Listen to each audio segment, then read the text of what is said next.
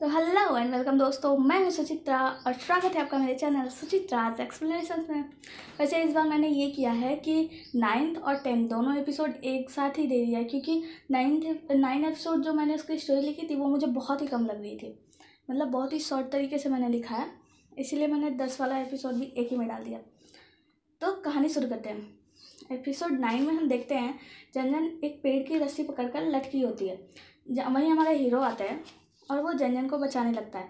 पर कहता है, पहले ये बताओ, कौन ज़्यादा हैंडसम है, मैं या चंगी जनजन कहती है, तुम हो तुम। फिर जनरल उसे बचा लेता है और अपनी पीठ पर बिठा कर वापस सबके पास ले जाता है। वहाँ बेंगटाऊ आता है तो जनरल जनरल पूछती है, ये यहाँ कैसे? तो जनरल बताता है, ये मेरी मदद के लिए आया है। फिर मिस जैन कहती हैं, मिस्टर ली, चलिए हम आगे चलते हैं। आगे हम देखते हैं मैडम सू को, उगजी बताती है जनन चैंगमिंग को लेकर पता नहीं कहाँ चली गई है।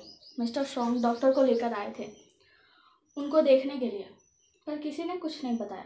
मुझे ऐसा लगता है कि वो लोग चैंगमिंग को लेकर शायद पूर्व की ओर गए हैं, क्योंकि चैंगमिंग के कपड़े जब रखे जा रहे थे तो मैंने देखा था।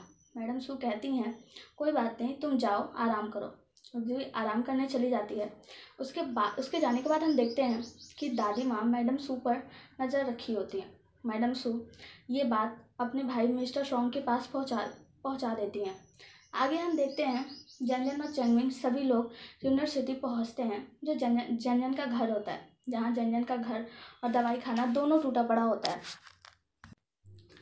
लुइयर, ये सब देखकर बहुत परेशान होती है।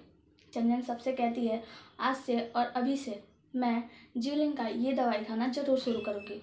जो दवाई खाना होता है, उसका नाम होता है जीवलिंग तो जनजन उसके नाम को उसके दवाई खाने को शुरू करती है। जनजन दवाई खाने को शुरू करती है और कहती है कि आज से मेरा नाम जनजन नहीं, बस, बल्कि जन ज्योलिंग होगा। आगे हम देखते हैं मिस्टर स्ट्रॉन्ग को। खबर मिलती है कि सभी लोग ईस्ट की तरफ़ गए हुए हैं तो उनका नौकर पूछता है, अब आगे आप क्या करेंगे?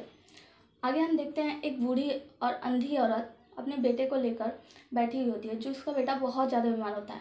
मिस्टर हु गुई उसके बेटे को लेकर चंदन की दवा खाने जाने के लिए कहते हैं। कहते हैं कि मैं, मिस चंदन यहाँ पे आई हैं, जो बहुत अच्छी डॉक्टर है, हम आपके बेटे को उनसे दिखाएँगे। बूढ़ी औरत मान जाती है और वो उसे लेकर उनकी दवा खाने जाते हैं। वहाँ जनजन उनका चेकअप करती है और कहती है, आप जल्दी ही ठीक हो जाएँगे।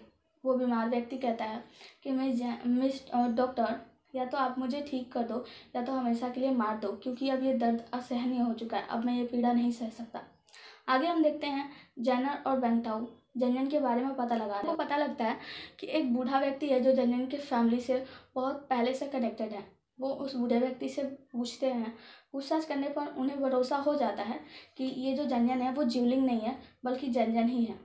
आगे हम देखते हैं चंगन चलने लगता है और जनजन ये सब देखकर बहुत खुश हो जाती है।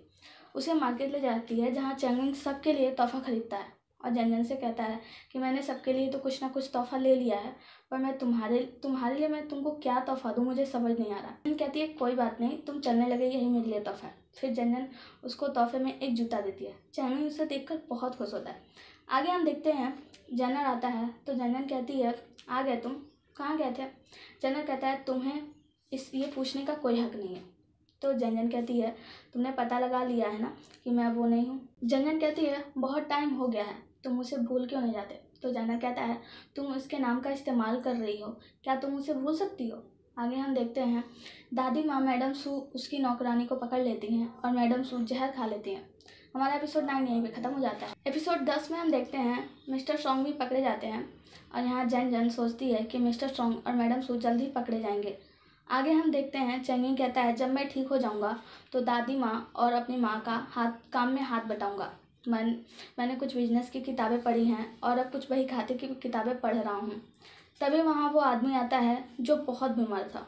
वो आदमी अब ठीक हो हो चुका है और वो जनजन का पैर पकड़ लेता है, जिससे जनजन बहुत जनजन उसको उठाती है और कहती है, आपको अभी भी दवाई की आवश्यकता है। और जनजन उसको दवाई देती है और कहती है, इसे टाइम पर खाते रहिए और आप जल्दी ठीक हो जाओगे।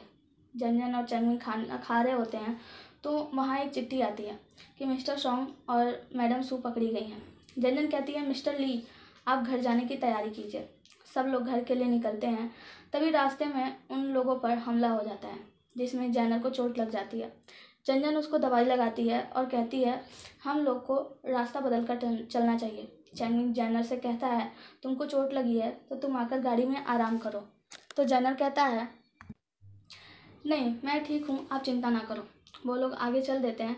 दूसरी तरफ़ हम देखते हैं एग्जुवी एक कमरे में कैद होती है, जहाँ उसकी बहन जिगजुवी उसके लिए खाना लेकर आती है और पहरेदारों से कहती है, मेरी बहन का ख्याल रखना। अंदर एग्जुवी रोते हुए कहती है, माँ, आपने ऐसा क्यों किया?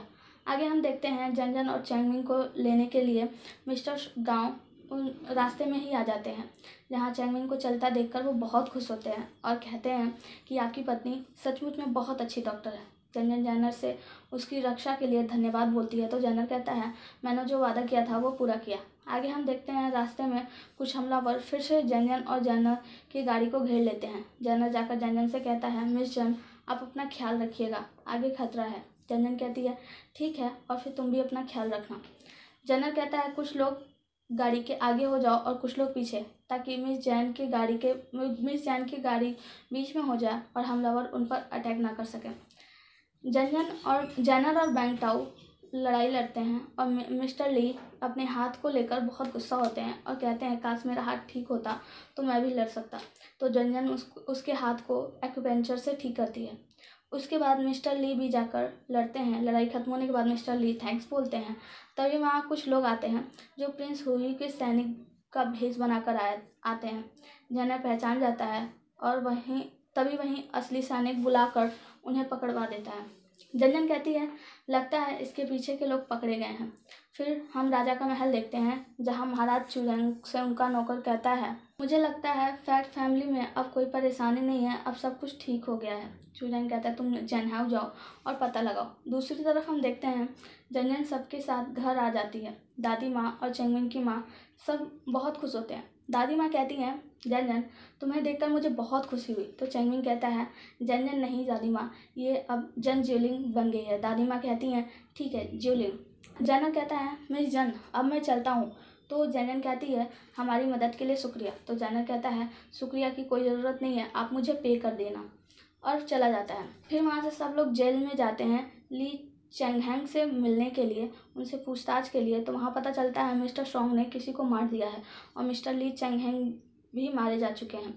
एपिसोड दस यहीं ख़त्म हो जाता है। बने रहिए हमारे साथ अगले एपिसोड के लिए। और थैंक यू, और थैंक यू मुझे सपोर्ट करने के लिए और देर से वीडियो डालने के लिए सॉरी।